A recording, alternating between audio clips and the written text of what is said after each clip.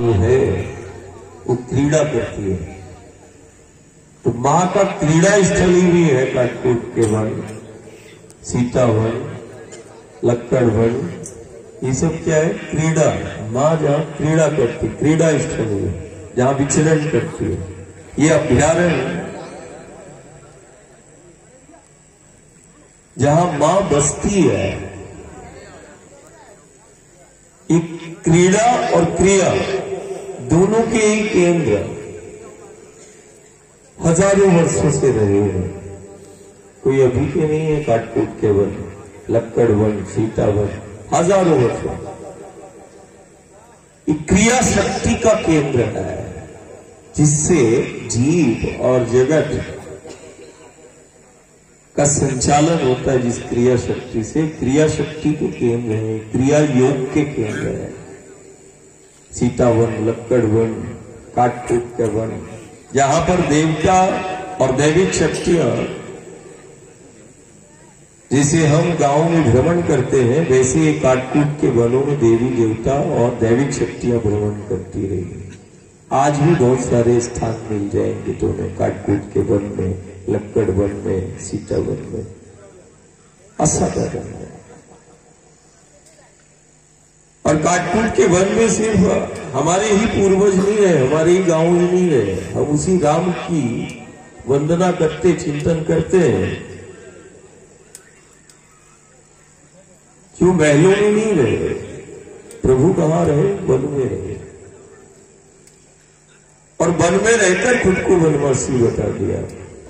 और वन में रहकर मेरे प्रभु श्री राम ने जीना सिखा दिया। वन। वन में रहे महलों में नहीं रहे जैसे हमारे ये गाँव वन में है। वनवासी प्रभु को अति प्रिय है। और वो तो खुद ही खुद वनवासी बोलते हैं। वन में रह कभी वो कामतगिरी से प्रार्थना करते हैं, वही तो मेरे राम है। जो गंगा और सरयू का मान करते हैं, कभी इस माटी का मान करते हैं, वही तो मेरे राम है। कभी माता सबरी के जूठे वेरों को खाते हैं और जाति पाति का भेद मिटाते हैं और प्रेम और सेवा का रिश्ता बताते हैं। कभी भी परमात्मा कुल और जाति को देखकर नहीं मिला। प्रेम और सेवा को देखकर परमात्मा और ईश्वर हर युग सदी में भक्त प्रेमी को बारंबार मिला। सेवा को देखकर। आज काटकोट का प्रेम काटकोट की सेवा, निष्काम सेवा, निष्काम प्रेम। आज देखो, थोड़ा सा परिक्रमा के पद से अलग, थोड़ा सा, ये भी तीर्थ क्षेत्र ही है। लेकिन आज हम काटकूट के वनों में भ्रमण करते करते काटकूट में। अब इसको काटकूट बोले कि मैया का वो कंचनपुर बोले, मैया का वो गाँव बोले कौशल्या का बोले कि देवकी का बोले कि यशोदा का बोले, लेकिन गाँव तो माँ का है। इसमें किसी प्रकार का कोई संदेह नहीं और काटकूट को एक ऐसा ग्यारहवें रुद्र का स्वरूप मिला। परिक्रमावासी ज्ञान दे ग्यारहवें रुद्र का बहुत सारा विग्रह हमने देखा होगा देश और दुनिया में। ग्यारहवा रुद्र मतलब हनुमान जी महाराज। है ना? बहुत सारे विग्रह कल सुबह टाइम हम उसी स्थान पर चलेंगे जहाँ दुनिया का सबसे अनोखा ग्यारहवें रुद्र का विग्रह है। हमने हनुमान जी महाराज को तो गदा। हाथ में पकड़े हुए देखा होगा। लेकिन पूरे भूमंडल में ग्यारहवा रुद्र जो है, हाथ में शिवलिंग लिए खड़े हुए हैं। अब अद्भुत प्रतिभा है। है ना भाई काटकुट वाले? है ना ऐसा? उसको बोलते ओखलेश्वर शिवलिंग भी है जब हमने पहली बार देखा तो हमने कहा ये भी क्या है कि हाथ में शिवलिंग लिए कहा लेके जा रहे हैं? अब हाथ में है तो कहीं ना कहीं लेके जाए नहीं होंगे। शिवलिंग रखा है हाथ में तुमने तो या फिर वो कहीं स्थापित करोगे? या फिर कहीं पूजन? शिवलिंग, शिव और शक्ति का वो प्रतीक है। ब्रह्मांड की उत्पत्ति का प्रतीक, शिवलिंग प्रतीक है, जिसका आदि अंत है? शिवलिंग हमारा अस्तित्व का, ब्रह्मांड के अस्तित्व का, शिव और शक्ति का वो प्रतीक है। प्रभु राम ने भी शिव उपासना की है, हम भी करते हैं। शिवलिंग का हम ध्यान करते हैं, शिवलिंग का पूजन करते हैं। अब वो शिवलिंग हाथ में है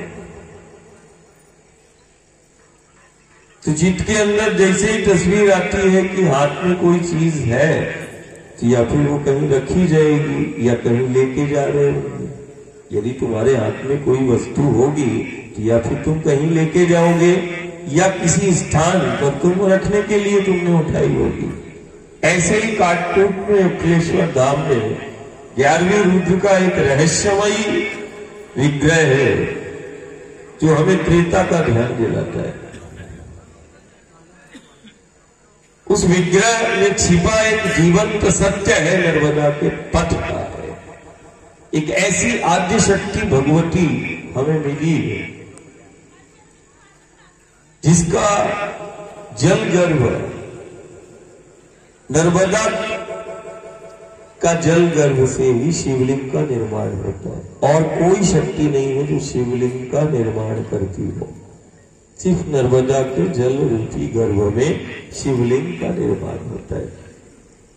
अब शिवलिंग का संबंध तो माँ नर्मदा से है, ये जगत विख्यात है कि शिवलिंग का निर्माण मात्र एक शक्ति माँ नर्मदा है, जो अपने गर्भ से असंख्य शिवलिंगों का निर्माण करती चली जा रही है। आज भी शिवलिंग का निर्माण तो माँ अब शिवलिंग का संबंध तो है। ये जीवन। है और फिर अपने द्वार के शंकर को रखती है। और ये भी विख्यात है कि नर्मदा का हर एक कंकर शंकर के रूप में है।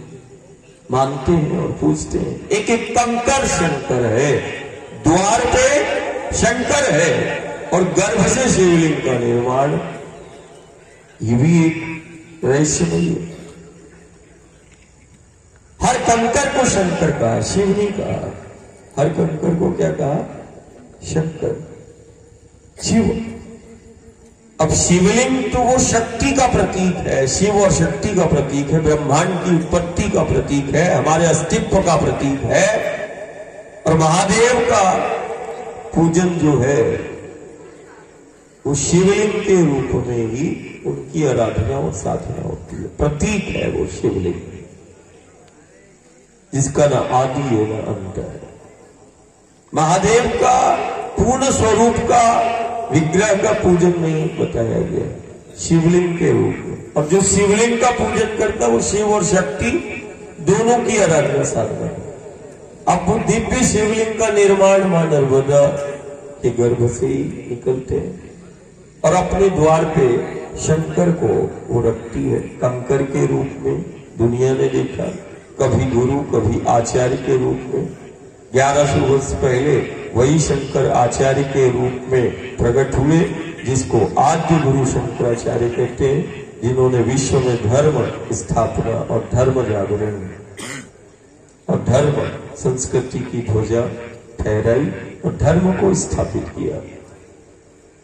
शंकर को देखा कंकर के रूप में, शंकर को देखा गुरु के रूप में, आचार्य के रूप में नर्मदा के द्वार पर शंकर प्रत्यक्ष है। और शिवलिंग का अनवरत प्रगटीकरण होता जा रहा है, बनते जा रहे हैं।